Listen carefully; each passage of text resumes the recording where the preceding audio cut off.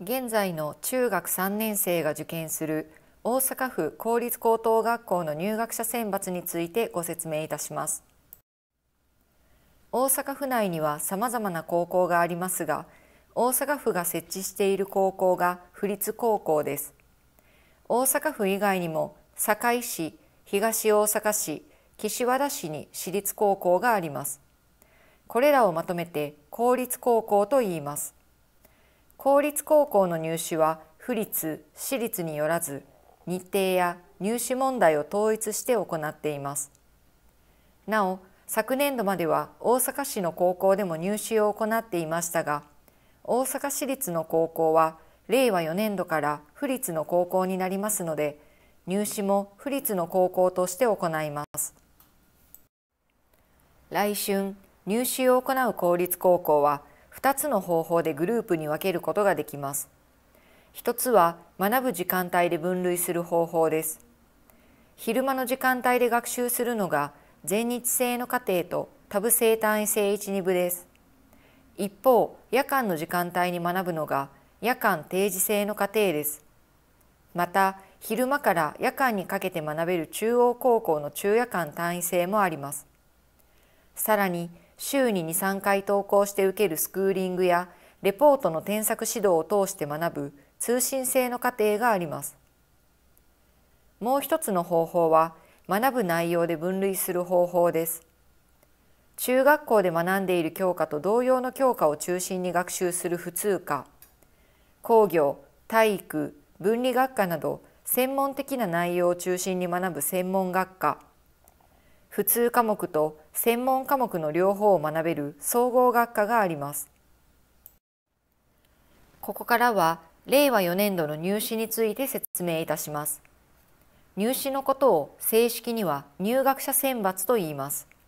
各高校を受験する機会は原則1回です。2月には面接や実技検査を伴う特別選抜、3月には一般選抜を実施しています。募集人員で計算すると、特別選抜ではおよそ8%、一般選抜では92%を募集することになり、多くの中学生が一般選抜で合格することになります。2月に特別選抜を実施する学科には、工業に関する学科のうち、建築デザイン科、インテリアデザイン科といったデザイン系の学科、総合造形科、美術科、音楽科、体育に関する学科、グローバル探究科、演劇科、芸能文化科があります。これらの学科では学力検査に加えて実技検査を実施します。全日制の課程総合学科エンパワーメントスクール多部生単位制1、2部の大阪若葉高校、そして中夜間単位制の中央高校では、学力検査に加えて面接を実施します。3月に一般選抜を実施する学科等の内訳ですが、全日制の課程では特別選抜を実施する学科を除くすべての学科、定時制の課程のすべての学科、通信制の課程の学校で一般選抜を実施します。なお、令和4年度からこれまでの大阪市立西高校、南高校、扇町総合高校が募集を停止し、新たに現在の扇町総合高校の場所に大阪府立大和高校教育分離学科として募集を行います。次は入試で合格不合格を決定するときに使う資料についてです合否の決定に使う資料は学力検査あるいは実技検査や面接など入試当日に行う検査と中学校から提出される調査書そして自己申告書の3種類です学力検査等ですが2月の特別選抜3月の一般選抜ともに5教科の学力検査を行います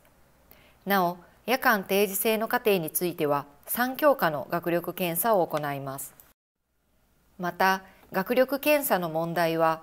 国語、数学、英語の3教科については、特別選抜では A 問題、B 問題の2種類、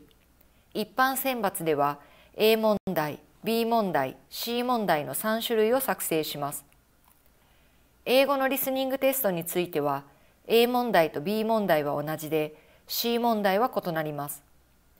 各高校がどの問題を使用するのかは7月に公表し大阪府教育委員会のウェブページに掲載しています。社会理科については1種類でどの学校も同一の問題です。また英語の C 問題に関しては指示文も含め問題文もすべて英語で表記しています。リスニングテストもすべて英語で実施します。筆記テストリスニングテストともウェブページに昨年度の問題を掲載しておりますので参考にしてください英語の問題については3種類ともすでに公表しております大阪版中学校で学ぶ英単語集の中の単語を使って作成されます。なお、この英単語集は令和3年4月に更新しています。詳しくは大阪府教育委員会のウェブページをご覧ください。また、英語では外部検定の資格を活用することができます。対象となる外部検定は、TOEFL IBT、IELTS および英検の3種類で、画面の換算表は外部検定の結果が入試で考慮される場合の読み替え得点率を示しています。もちろん、入試当日は英語の筆記試験を受験してもらうこととなります。当日の英語の成績と読み替えた得点を比較し、得点の高い方を当日の英語の成績として選抜を行います。なお、志願書とともに外部検定の成績表の写し、コピーの提出が必要となります。中学校で原本と相違ないことを証明してもらってください。次に調査書です。調査書には各教科の学習の記録欄と活動行動の記録欄があります。各教科の学習の記録欄には中学1年生、2年生、3年生の目標に準拠した評価、いわゆる絶対評価が5段階で記載されます。ところで、絶対評価とはどんな評価でしょう？学習指導要領に示す各教科学年で学ぶべき目標がどの程度実現できたか、その実現状況を見る評価です。集団における相対的な位置での評価ではありません。なお、調査書の評定の公平性を担保するため、府内の公立中学校については、府内で統一実施しているチャレンジテストを用いて、調査書評定を確認しています。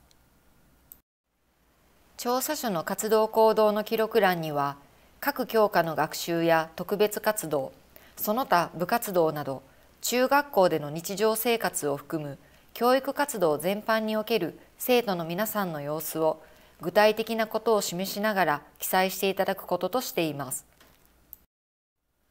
次に自己申告書についてです。自己申告書は日本語指導が必要な生徒選抜の志願者を除き、すべての志願者に提出を求めており、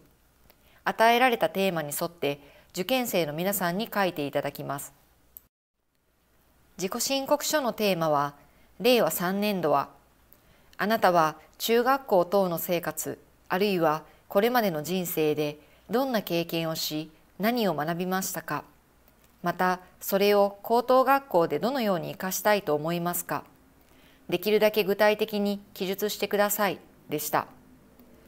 令和4年度の入試のテーマも大きな変更はない予定ですが正式に決定するのは10月です。以上のような資料を用いて合格不合格を決定することになります。学力検査実技検査の成績や調査書の評定は総合点の算出に用いられ調査書の活動行動の記録や自己申告書は各高校のアドミッションポリシー求める生徒像に合致するかどうかの判断に用いますところでアドミッションポリシーとは何のことでしょうか？求める生徒像とも言います。これは高校がこんな生徒に来てほしい、高校でこんなふうに勉強や部活動等の教育活動に取り組んでほしいと思っていることを文章にしたものです。7月中旬より大阪府教育委員会のウェブページに掲載していますので参考にご覧ください。そして皆さんが学校を選ぶとき、また自己申告書を書くときにはぜひ参考にしてください。さて、では総合点はどのように計算するのでしょうか。総合点の算出方法です。一般選抜においては国語、社会、数学、理科、英語の5教科の学力検査を実施し、配点は各教科90点の450点満点です。調査書は各教科を50点に換算し、9教科で450点満点になるよう計算します。こちらは後ほど説明します。また、各学校は学力検査と調査書の比率を5つのタイプから選択します。学力検査7対調査書3から学力検査3対調査書7までの5つのタイプがあります。例えばタイプ1を選んだ学校の場合学力検査の満点450点を1.4倍して630点調査書の満点450点を0.6倍して270点に換算して合計します。いずれの場合の総合点も900点満点です。各高校が選択した比率のタイプについては7月中旬に公表し大阪府教育委員会のウェブページに掲載いたします。調査書の評定は3年生、2年生、1年生が3対1対1となるよう換算します。ここで調査書の評定の合計点の具体的な算出方法についてまず一つの教科を例にとって説明します。各学年の評定は5段階なので5点満点になります。各教科の評定は50点で中学3年生2年生1年生が3対1対1なので3年生に6倍12年生に2倍をして合計50点となりますこの50点が9教科あるので合計450点となります一般選抜の定時制の課程では国語数学英語の3教科の学力検査を実施し配点は各教科90点の270点満点です。調査書についても各教科をそれぞれ30点換算とし270点満点とします。一般選抜全日制の課程と同じように調査書評定を計算します。その後先ほどと同様に学校が選択した学力検査と調査書の比率のタイプによって学力検査の成績調査書の成績に倍率をかけて総合点を計算します。いずれの場合の総合点も540点満点です。調査書の評定の合計点の具体的な算出方法ですが、各教科の評定は30点で、中学3年生、2年生、1年生が3対1対1なので3年生に3.6倍12年生に1.2倍をして合計30点となります。この30点が9教科あるので合計270点となります。通信制の課程では面接を実施し調査書とともに選抜の判定資料とします。面接の実施日はこの3日間の中から志願者が出願時に選択します。では入学者選抜ではどのように合格者を決定するのでしょうか？総合点の高い人から順に合格とするだけではありません。一般選抜と特別選抜で実技検査を実施する場合の合格者の決定方法を説明します。まず総合点の順に定員の110%までを1軍とします。次に1軍の中で定員の90%に相当する人までを合格とします。次に90%から110%までをボーダーゾーンと呼びますが、そのボーダーゾーンの中から調査所の活動行動の記録や自己申告書を資料として各学校のアドミッションポリシーに極めて合致するものを合格とします。これで募集人員を満たさなかった場合には総合点の高いものから順に募集人員を満たすように合格者を決定します。次は特別選抜で面接を実施する場合の合格者の決定方法です。ステップ1です。学力検査で基準に達したもののうち、面接、自己申告書、調査書の活動行動の記録の記載内容を2対1対1の割合で評価し、アドミッションポリシーに最も適合したものの順に合格者を決定します。この手順による合格者については、募集人員の50%を上限とします。その後、ステップ3として、まだ合格になっていないものの中から総合点の順に合格者を決定します。公立高校の入試の仕組みについてご理解いただけましたでしょうか。ここまでは主に入試の仕組みについて説明してきましたが、ここからは公立高校の調べ方について説明します。公立高等学校等ガイドには、公立高校マップ、学科の紹介、入学者選抜の方法、最寄り駅、進路状況、主なクラブ活動、エレベーターの設置状況等、高等学校のいろいろな情報が載っています。中でもインターネットを使って調べることができるサクナビがおすすめです。パソコンやスマートフォンを使って学校の所在地や設置学科、クラブ活動など皆さんの気になることをキーワードを使って検索することができます。また、各学校では Web ページを作成しています。学校の行事のことなどたくさんの情報が載っています。この他にも学校のことを知る方法には先輩に聞いてみる。自分で調べてみるといろんな方法がありますが皆さんぜひ高等学校に直接行ってみてください。多くの学校では学校説明会や体験入学を実施しています。皆さんの興味関心進路希望に合った自分にぴったりの公立高校を見つけてください。